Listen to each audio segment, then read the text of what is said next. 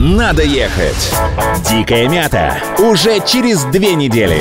18, 19 и 20 июня. Три дня музыки, любви и свободы. Мгзавреби, The Hatters, Аигел, Гарик Сукачев, Иван Дорн, Манижа, Кис-Кис, Tesla Boy, Алена Швец и группа Кино.